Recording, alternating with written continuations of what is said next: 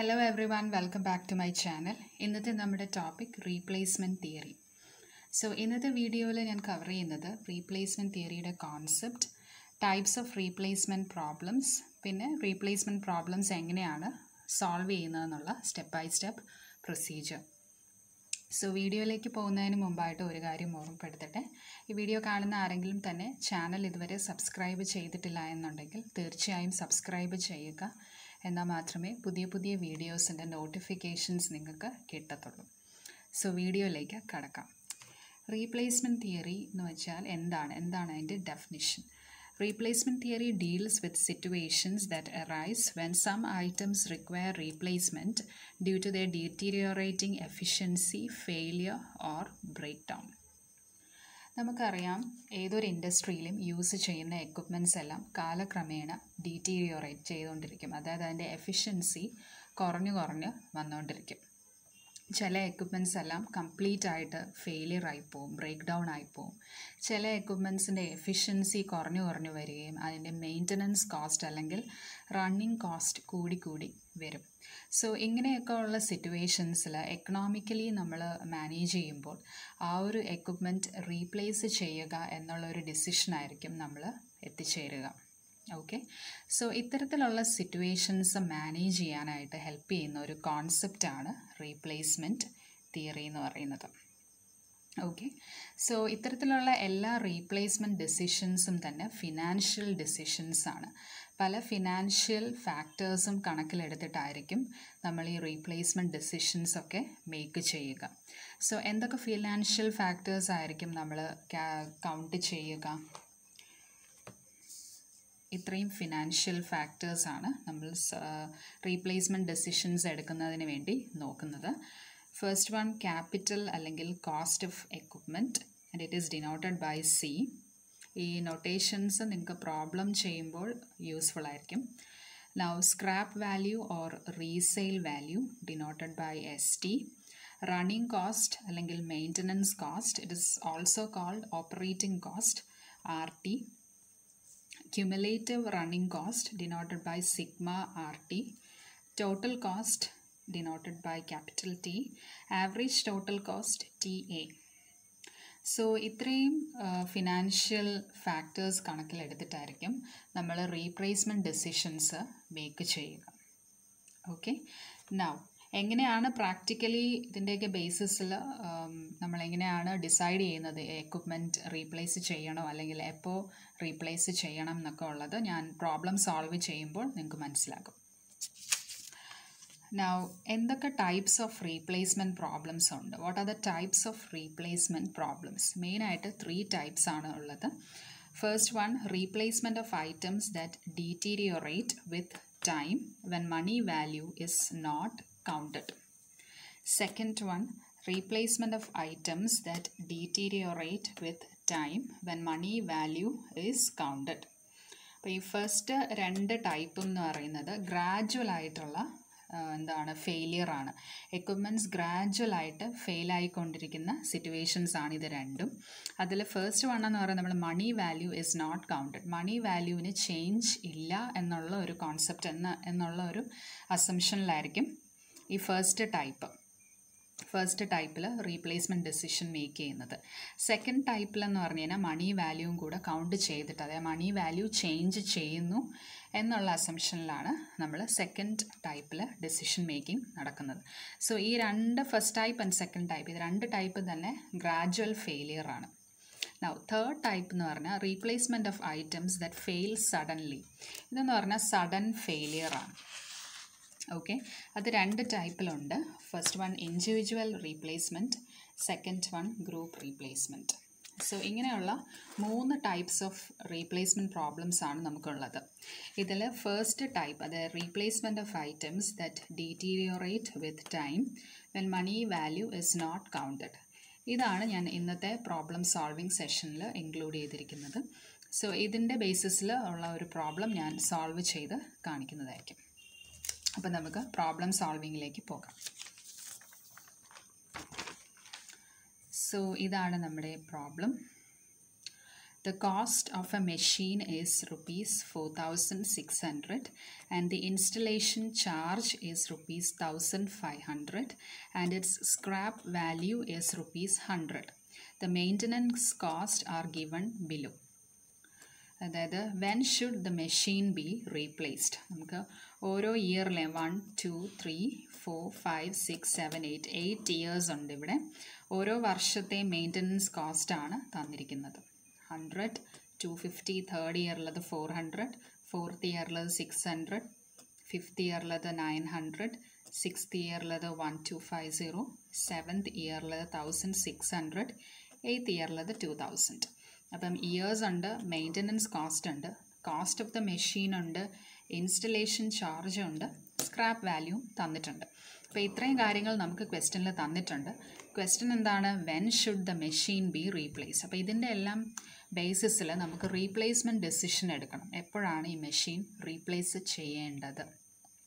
Okay so നമുക്ക് ഇത്രയും കാര്യങ്ങളാണ് ഇതിനകത്ത് വേണ്ടത്. ഫസ്റ്റ് വൺ ഇയർ ആണ്. Okay second one maintenance cost ആദ്യം നമുക്ക് question maintenance cost cumulative maintenance cost resale value depreciation total cost average cost so ഇത്രയും കാര്യങ്ങളാണ് നമ്മുടെ ഇതിനകത്ത് നമുക്ക് ആവശ്യമുള്ള ഫാക്ടേഴ്സ് എന്ന് പറയുന്നത്. അതിൽ ക്വസ്റ്റ്യനിൽ തന്നിട്ടുള്ള കാര്യങ്ങൾ ഞാൻ ഓൾറെഡി എഴുതിയിട്ടുണ്ട്. ഒന്ന് ഇയർ അപ്പോൾ എയ്റ്റ് ഇയേഴ്സ് നമ്മൾ എഴുതി മെയിന്റനൻസ് കോസ്റ്റ് നമുക്ക് തന്നിട്ടുണ്ട്. സോ മെയിന്റനൻസ് കോസ്റ്റ് നമ്മൾ എഴുതി ആൻഡ് മെയിന്റനൻസ് കോസ്റ്റ് ഡിനോട്ട് ചെയ്യുന്നത് R T okay resale value നമുക്ക് ക്വസ്റ്റ്യനിൽ റീസെയിൽ വാല്യൂ ഉണ്ട്. സ്ക്രാപ്പ് വാല്യൂ തന്നെയാണ് resale value scrap value is hundred ഞാൻ അത് ചേഞ്ച് ചെയ്യുന്നതായിട്ട് പറഞ്ഞിട്ടില്ല. അപ്പോൾ അതിന്റെ അർത്ഥം സ്ക്രാപ്പ് വാല്യൂ അല്ലെങ്കിൽ റീസെയിൽ വാല്യൂ കോൺസ്റ്റന്റ് ആണെന്നാണ് എല്ലാ വർഷവും. സോ എല്ലാ ഇയറിലും സെയിം സ്ക്രാപ്പ് വാല്യൂ അല്ലെങ്കിൽ സെയിം റീസെയിൽ വാല്യൂ തന്നെ എഴുതി റീസെയിൽ വാല്യൂ ഡിനോട്ട് ചെയ്യുന്ന എസ് ടി നൗ ഡിപ്രീസിയേഷൻ കാണണം. Depreciation D is equal to C minus S T അപ്പോൾ ഡിപ്രീസിയേഷൻ എന്ന് പറയുന്ന കോസ്റ്റ് മൈനസ് റീസെയിൽ വാല്യൂ ആണ് അതിന്റെ ഫോമുല സോ നമുക്കിവിടെ കോസ്റ്റ് എത്രയാണ്? Cost of the machine is four thousand six hundred and its installation charges rupees thousand five hundred so cost എന്ന് പറയുന്നത് അപ്പോൾ എന്തുവാകും ഫോർ തൗസൻഡ് സിക്സ് ഹൺഡ്രഡ് നമുക്ക് വേണം. അതായത് ഇൻസ്റ്റലേഷൻ ചാർജും അവിടെ കൂട്ടണം. So total cost of the machine എന്ന് പറയുന്നത് four thousand six hundred plus five hundred ആണ്. So six thousand one hundred നമ്മുടെ ഡിപ്രീസിയേഷന്റെ ഫോമിൽ എന്താണ്? Cost minus resale value resale value എത്രയാണ്? Hundred so cost C minus S T cost six thousand one hundred minus scrap value അല്ലെങ്കിൽ resale value six thousand അപ്പം നമ്മുടെ depreciation is six thousand okay so scrap value ഒക്കെ ഇവിടെ constant ആയതുകൊണ്ട് എല്ലാ ഇയറിലും ഒരേ ഡിപ്രീസിയേഷനാണ് അപ്പോൾ അതും എല്ലാ ഇയറിലും എഴുതി. ഓക്കെ നൗ അപ്പോൾ ഇത്രയും കാര്യങ്ങൾ നമുക്ക് ക്വസ്റ്റ്യനിൽ തന്നെ കിട്ടി. ഇനി നമുക്ക് അടുത്ത ക്യുമുലേറ്റീവ് മെയിന്റനൻസ് കോസ്റ്റ് കാണണം ടോട്ടൽ കോസ്റ്റ് കാണണം ആവറേജ് കോസ്റ്റും കാണണം. First one cumulative maintenance cost അത് കാണുന്നത് ഇങ്ങനെയാണ്. ഫസ്റ്റ് ഇയറിലെ കോസ്റ്റ് സെയിം ആയിരിക്കും ഹൺഡ്രഡ് ക്യുമുലേറ്റീവ് അപ്പം സെക്കൻഡ് ഇയറിൽ കാണുന്നത് എങ്ങനെയാണെന്ന് വെച്ചാൽ hundred plus two fifty okay അതായത് till the end of that year എന്നാണ് ക്യുമുലേറ്റീവിന്റെ അർത്ഥം. അപ്പോൾ first ഇയറിലെ cost maintenance cost is hundred അപ്പോൾ till the end of first ഇയറും hundred തന്നെയാണ്. Second ഇയറിലെ maintenance cost is two fifty അപ്പോൾ ക്യുമുലേറ്റീവ് മെയിന്റനൻസ് കോസ്റ്റ് എന്ന് വെച്ചാൽ till second year till second year എന്ന് പറയുമ്പോൾ ഫസ്റ്റ് ഇയറും കൂടെ കൂട്ടണ്ടേ. അതാണ് ഹൺഡ്രഡ് പ്ലസ് ടു ഫിഫ്റ്റി അപ്പോൾ ത്രീ ഫിഫ്റ്റീന്ന് കിട്ടും. Okay now third ഇയറിലെ cumulative cost cumulative maintenance cost till third year third ഇയറിലെ മാത്രം നമുക്ക് ഫോർ ഫോർ ഹൺഡ്രഡ് ഉണ്ട്. ടിൽ തേർഡ് ഇയർ എന്ന് പറയുമ്പം ഇതുവരെ ഉള്ളതും കൂട്ടണ്ടേ? അപ്പം ഇത് plus three fifty three fifty plus four hundred seven fifty now fourth till fourth year അപ്പോൾ seven fifty plus six hundred one three five zero Now till fifth year cumulative that is 1350 plus 900 that is 2250. Now sixth year under 2250 plus 1250 which is 3500 and 3500 plus 1600 which is 5100.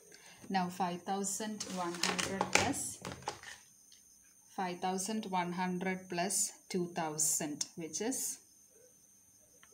7100 okay so ഇങ്ങനെയാണ് cumulative cost കാണുന്നത്. അതായത് first ഇയറിന്റെത് same ആയിരിക്കും. Second ഇയറിന്റെ വരുമ്പോൾ അതും ഇതിന്റെ കൂടെ ആഡ് ചെയ്യണം. തേർഡ് ഇയറിന്റെ വരുമ്പോൾ ആഡ് ചെയ്യുമ്പോൾ ത്രീ ഫിഫ്റ്റി കിട്ടും. തേർഡ് ഇയറിന് വരുമ്പോൾ അത് ഇതിന്റെ കൂടെ ആഡ് ചെയ്യണം. അപ്പോൾ സെവൻ ഫിഫ്റ്റി കിട്ടും. അത് ഇതിന്റെ കൂടെ ആഡ് ചെയ്യണം. ഓക്കെ.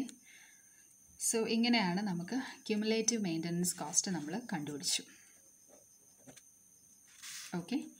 ഇനി നമ്മുടെ ഇനി ഇവിടെ എന്താ ഉള്ളത്? ടോട്ടൽ കോസ്റ്റ് ടോട്ടൽ കോസ്റ്റിന്റെ ഫോർമുല എന്ന് പറഞ്ഞാൽ sigma R T plus T sigma R T എന്താണ് cumulative maintenance cost plus depreciation so ഈ ക്യുമുലേറ്റീവ് മെയിന്റനൻസ് കോസ്റ്റും ഡിപ്രിസിയേഷനും കൂടെ ആഡ് ചെയ്ത് എടുക്കണം So 100 plus 6000 is 6100.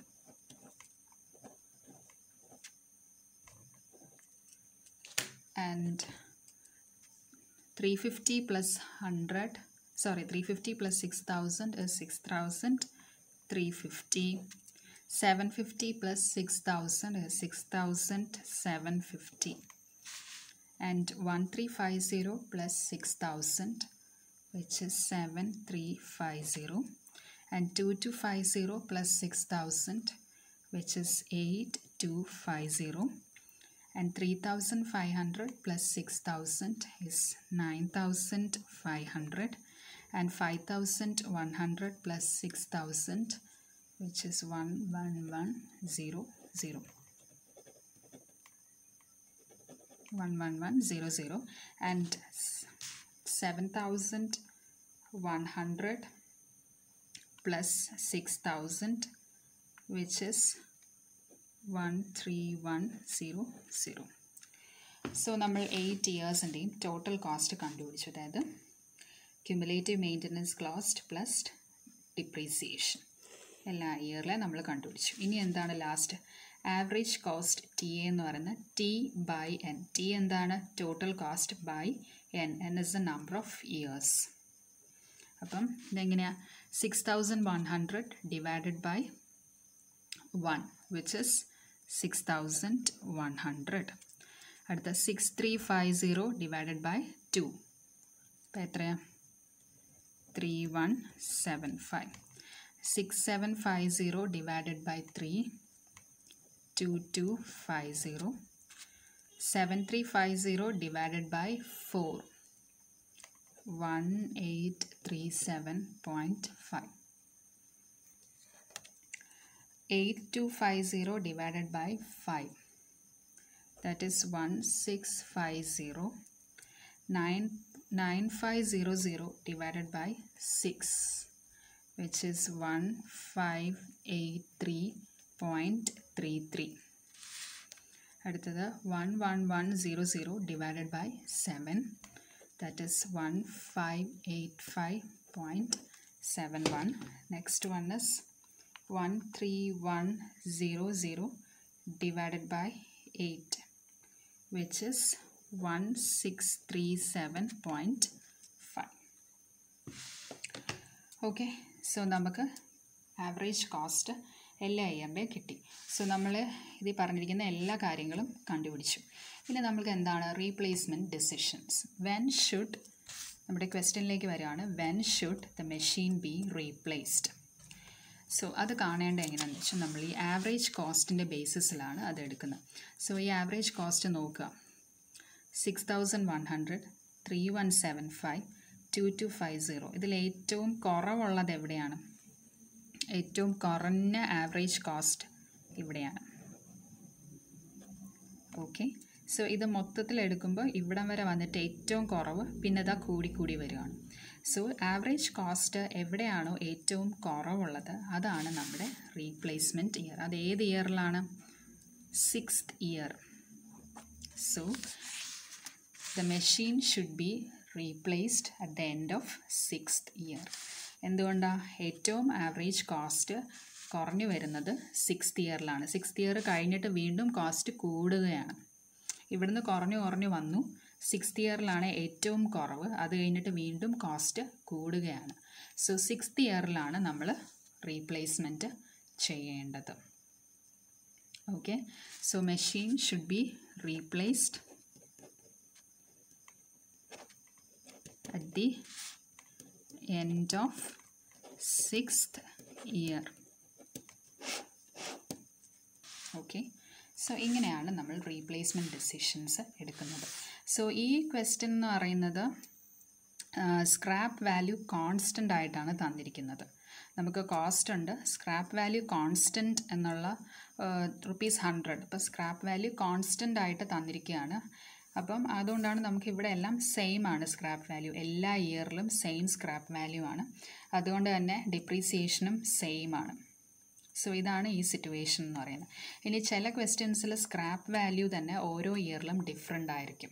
Okay so അങ്ങനെ വരുമ്പോൾ ഡിപ്രീസിയേഷനും മാറിക്കൊണ്ടിരിക്കും. സോ അത്തരത്തിലുള്ള ഒരു ക്വസ്റ്റ്യൻ ഞാൻ നെക്സ്റ്റ് വീഡിയോയിൽ ചെയ്ത് കാണിക്കുന്നതായിരിക്കാം.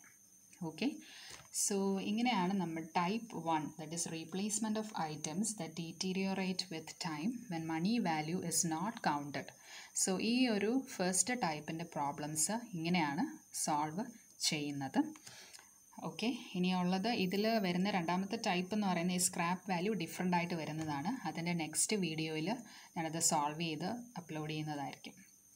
ഓക്കെ സോ ഈ വീഡിയോ ഇഷ്ടപ്പെട്ടെങ്കിൽ എല്ലാവരും ഇത് ലൈക്ക് ചെയ്യുക ഫ്രണ്ട്സുമായി ഷെയർ ചെയ്യുക ചാനൽ സബ്സ്ക്രൈബ് ചെയ്യുക.